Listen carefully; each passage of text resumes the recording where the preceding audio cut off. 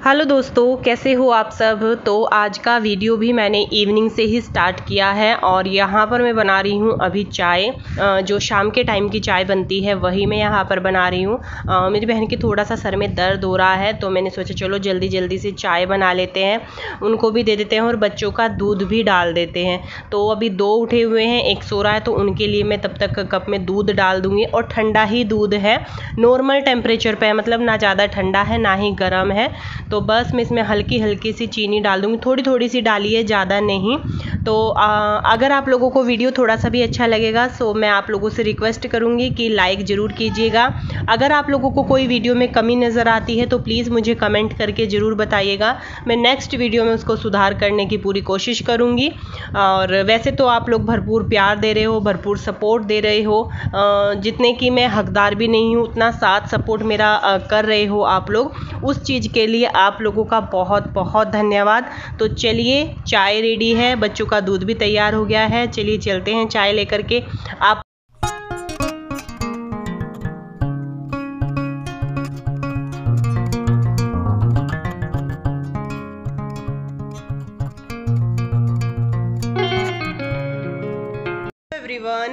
Back to my channel कैसे हो आप सभी? आई होप आप सब बहुत बढ़िया होंगे और ठीक ठाक होंगे।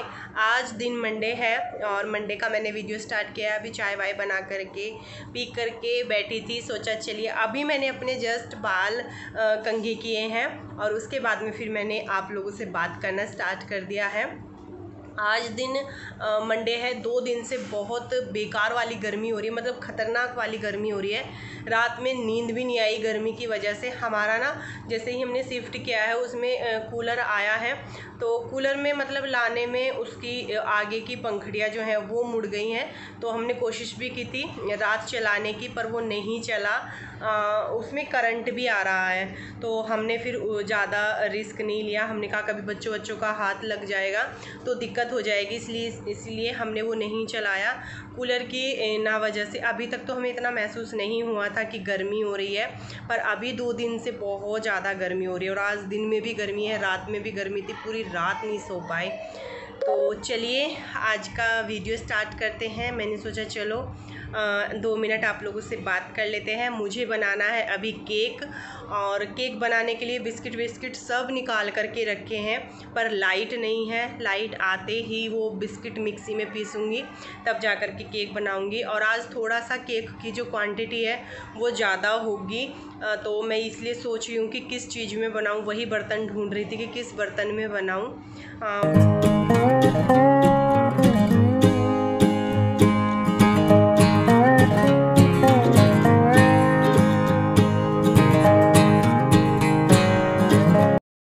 तो मैंने यहाँ पर बिस्किट निकाल करके रखे हुए हैं। एक इनो का पैकेट मंगाया है। दो तरीके के बिस्किट हैं यहाँ पर। वे तो वे, वे जो वैसे रहे ना वे तो दे नुकसान।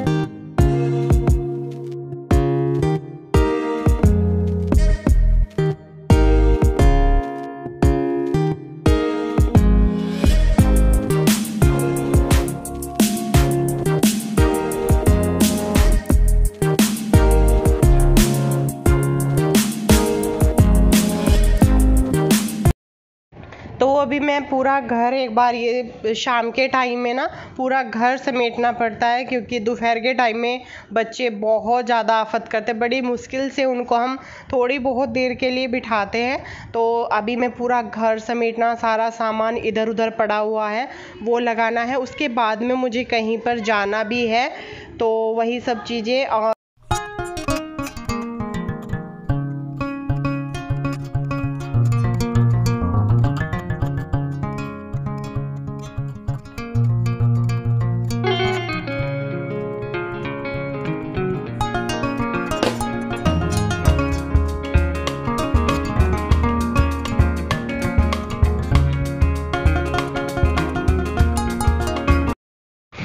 हम अभी आए हैं नर्सरी में। आप लोगों को पता ही है, मुझे पेड़ पौधों का बहुत ही ज़्यादा मतलब शौक़ है। अच्छा लगता है घर में पेड़ पौधे, मुझे बहुत ज़्यादा ही पसंद है। तो मैं यहाँ पर कुछ ज़रूरी ज़रूरी जो मुझे इस टाइम पर चाहिए, वो प्लांट लेने आई थी। पर वही है ना, एक दो पौधा तो मैंने फिर वैसे भी ले लिया, क्यों, क्योंकि मुझे चाहिए था तुलसी का पौधा जो कि नहीं है अभी घर में। और दूसरी चीज़, एक मनी प्लांट जो मुझे घर में चाहिए चाहिए। तो ये दो चीज़ें मैं लेने आई थी। फिर मैंने देखा एक पौधा और मुझे बहुत ज़्यादा ही पसंद आया, वो भी मैंने ले लिया। तो यहाँ पर हम नर्सरी में घूम रहे थे। बहुत सारे पेड़ पौधे थे और बहुत अच्छे अच्छे थे। काफ़ी बड़ी नर्सरी थी ये। तो थोड़ी सी देर हम यहाँ पर घूमे, देखा। फिर हमने नेक्स्ट टाइम के लिए भी कुछ पौधे हमें पसंद आए तो हमने सोचा क्योंकि बाइक पे थे ना तो बाइक पे एक साथ इतने सारी पौधे जा नहीं पाते क्योंकि गमले, मिट्टी, सारी चीज़ें ही लेनी थी। तो हम वही यहाँ पर देख रहे थे और बड़े सुंदर सुंदर हरे भरे पौधे थे और मौसम इतना बढ़िया हो रहा था क्योंकि अभी ना बारिश पड़ी थी, हल्की ही बारिश पड़ी थी, ज़्यादा तेज़ तो नहीं, पर मौसम बिल्कुल चेंज हो गया था।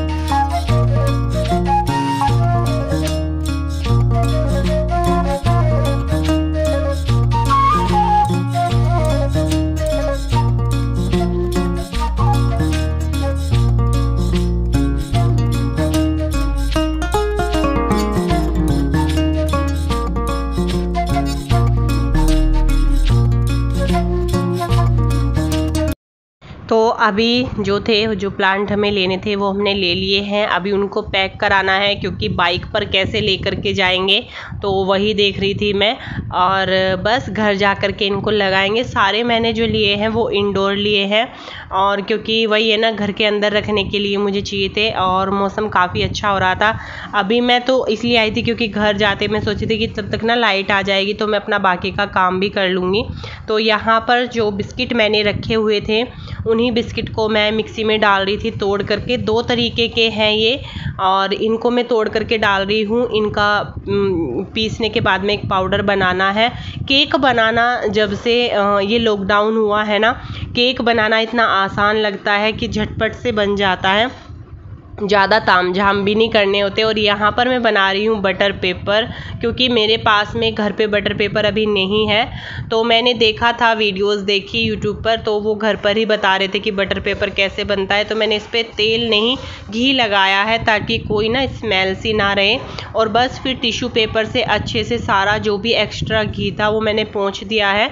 और इसको अखबार में या कागज़ में थोड़ी सी देर के लिए लपेट करके रख देंगे ताकि इसका जो भी एक्स्ट्रा वो है, वो सारा सारा सूख जाए तो बस इसमें थोड़ा थोड़ा दूध डाल करके मैं इसका एक स्मूथ सा बैटर तैयार कर लूँगी। और ज़्यादा कुछ डालना नहीं होता, इसमें बस दूध डालना है, एक बैटर तैयार करना है और मैंने इनो का पैकेट मंगाया हुआ है। तो इनो मैं इसमें डाल दूँगी। अभी इसको मैंने कट कर लिया है बिल्कुल इसी साइज़ का। तो मैं आज जो केक है वो तवे पर बनाऊँगी। मैंने देखा है कि तवे पर भी बन जाता है। देखते हैं कैसा बनता है। और बस अभी मैं इसमें डाल दूँगी इनो। इनो डालने के बाद में ये प्रोसेस बहुत ही तेज़ी से करना होता है। बस इनो डालते ही ये सारा बैटर जिसमें हमको केक बनाना है, उसमें ट्रांसफ़र कर देना है और थोड़ा सा इसकी ना इसको टैप टैप कर लेना है ताकि जो सारे इसमें से बबल्स से फूटने लगते हैं गैस ना बने उसकी वजह से। तो बस तवे पर मैंने ये रख दिया है। ऊपर से मैंने प्लेट ढक दी है और कुछ वज़नदार मैं इसके ऊपर रख दूँगी। और यहाँ पर मैंने ना चॉकलेट सिरप बना करके रख लिया है। चॉकलेट को मेल्ट करके। नहीं आई थी, बहुत देर बाद लाइट आई है, काफ़ी टाइम बाद, क्योंकि हल्का सा बारिश का मौसम हो गया था ना तो उसी वजह से लाइट नहीं आ पाई, बहुत देर बाद आई है आई है, फिर ये मैंने बिस्किट किए हैं। उसके बीच में ही जो है, मैं चली गई थी मुझे तुलसी का पौधा लाना था, और एक लाना था मुझे मनी प्लांट का, दो तीन पौधे लाए हैं, वो भी लगाएँगे, तब मैं आप लोगों को दिखाऊँगी। और ये रख दिया है मैंने बनने के लिए, जैसे कि मैं बता रही थी ना, बहुत मतलब थोड़ा सा एक्स्ट्रा है तो इतना बड़ा मेरे पास में कोई भिगोना नहीं है कि मैं इसको उसमें रख दूँ। तो इसलिए मैंने ये रख दिया तवे पर। तवे पर मैं पहली बार बना रही हूँ। देखते हैं कैसा रिज़ल्ट आएगा तवे पर बनाने से। और ये गए थे मेरे सूट लेकर के आए हैं। अब मैं आज इस वीडियो में आप लोगों के साथ में क्या क्या शेयर करूँ। सूट दिखाऊँ कि पौधे दिखाऊँगी। चलिए सूट बाद में दिखा दूँगी। अपनी अगली वीडियो में दिखा दूँगी मैं। मेरे सूट सिल करके आ गए हैं। मैंने दे करके आई थी मैं। आप लोगों को दिखाए भी थे। तो वो सूट मेरे सिल करके आ गए हैं। अभी मुझे अपने पौधे जो हैं क्योंकि जब तक मेरे घर में पौधे नहीं होते हैं ना, मुझे सुना सुना सा लगता है अपना घर। तो इसीलिए मैं इंडोर पौधे लेकर के आई हूँ ताकि जो है यहाँ पर स्पेस भी है, यहाँ पर मैं बाहर उनको रख लूँगी। और अभी लगाएँगे तुलसी का पौधा नहीं था, सुबह मैं पूजा करती हूँ तो जल देने के लिए बड़ी दिक्कत हो रही थी। जल देने के लिए तुलसी का पौधा चाहिए चाहिए, वो नहीं था, वो मैं ज़रूर लेकर के आई हूँ और एक दो पौधा और लाई हूँ। अभी इसको बनने में टाइम है, तब तक मैंने चॉकलेट सिरप बना करके रख दिया है। आज थोड़ा सा मौसम ठीक हो गया है क्योंकि बारिश आई थी तो हल्की सी बारिश ने ही मौसम चेंज कर दिया है।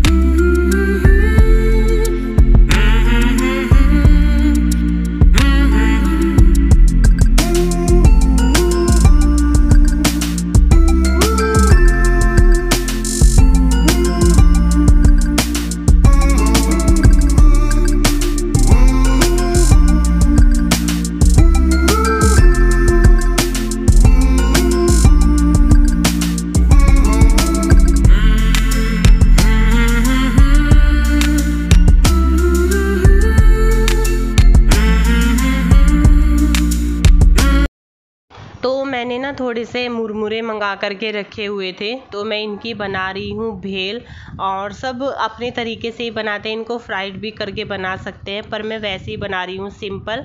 तो यहाँ पर मैंने कट कर लिया है एक खीरा और इसमें आप अपनी मर्ज़ी से कोई भी वेजिटेबल डाल सकते हो, पर ज़्यादातर इसमें यही जाता है खीरा, प्याज, टमाटर, हरी मिर्च भी डाल सकते हो, क्योंकि बच्चे हैं तो मैं इसमें हरी मिर्च नहीं डालूँगी। प्याज डाल दी है कट करके दो मैंने यहाँ पर छोटे छोटे से टमाटर लिए हैं, वो डाल दूँगी और बहुत अच्छी लगती है और बहुत जल्दी से बन जाती है। बनाने में ज़्यादा टाइम नहीं लगता इसको झटपट से तैयार हो जाती है बन करके।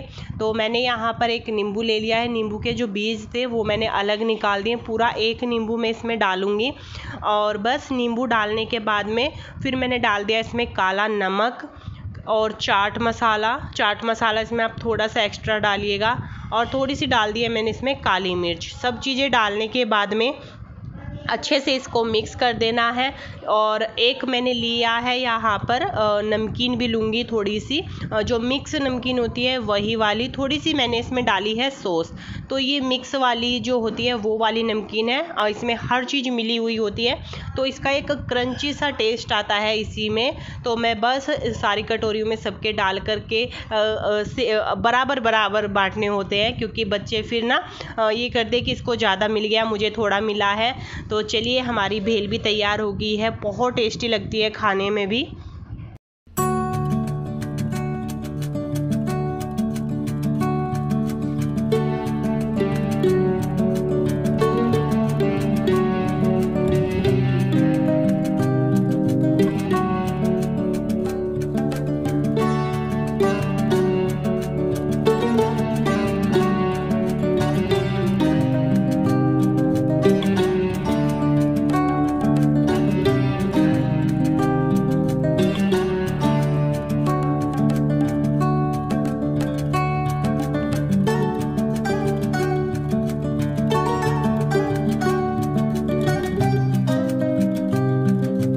अभी हमने इन पौधों को जो है वो लगा दिया है और अभी हम सोच रहे थे कि कहाँ कौन सा पौधा रखेंगे इनमें से। तो मनी प्लांट तो जहाँ पर रखा हुआ है, वहीं पर रखूँगी क्योंकि यहाँ पर अच्छा लगेगा। और जो ये बीच वाला पौधा है, इसको रखूँगी मैं किचन के सामने। ये वहाँ पर बहुत सुंदर लगेगा। तो काफ़ी अच्छे लग रहे थे ये भी। दो तीन पौधों से ही घर में रौनक सी आ गई है, जान सी आ गई है। वैसे अभी मेरा घर थोड़ा सा फैला हुआ है इस टाइम पर। बार मिले।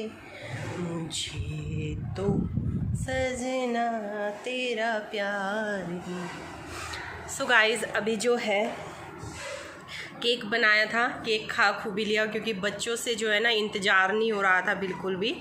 और पहले केक बनाया उसके बाद में फिर वो मुरमुरे मंगाए थे तो उसकी जो भेल बोलते हैं वो भी बनाई थी बच्चों ने वो भी खाई मज़ा आ गया। आ, खा करके बच्चों के साथ साथ में हमने भी खा लिया।